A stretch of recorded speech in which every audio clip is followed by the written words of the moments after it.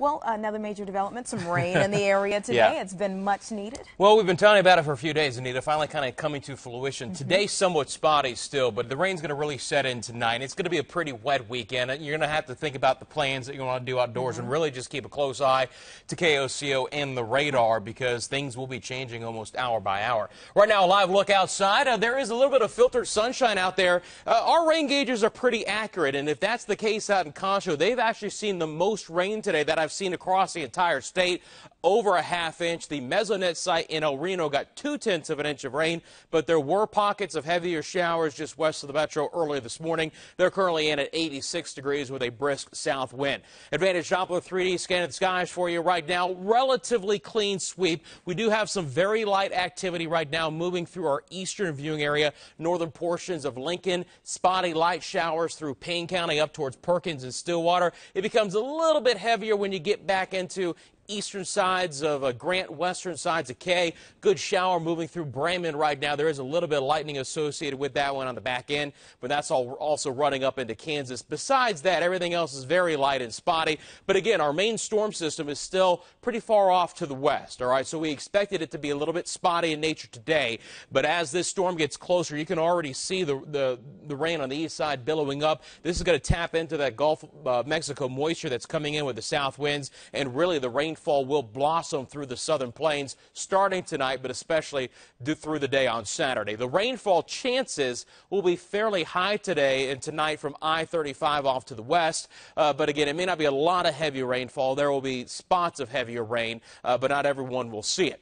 Current temperatures on the board right now, a little bit rain cool today, mainly in the 80s, a little bit cooler up north where Enid and Alva are in at 84. And lows tonight will be falling back mainly into the upper 60s or the lower 70s. A couple few degrees warmer there out in eastern Oklahoma than highs for tomorrow will probably be a couple degrees cooler as well. It's just, again, very area dependent when the rain sets in. Uh, temperatures still could still hit 90 degrees in a few places, but more than likely will stay lower than that. We'll call for a 60% chance of showers and storms uh, through the evening and the overnight hours for the metro. It's not going to be a washout early, uh, but then as the rain sets in, it's going to get a little bit wetter outside. And again, basically, you're going to want to really keep a close eye on the radar if you have outdoor plans. I know there's a lot going on this weekend across the metro and the state but it's a real good bet for showers and storms out there. Now, these aren't going to be organized, but there could be some heavier rainfall, some cloud ground lightning, and some gusty winds. Here's the six, six o'clock radar tomorrow, and you can just see we're pretty lit up with showers and storms in the area. This will just continue to stay,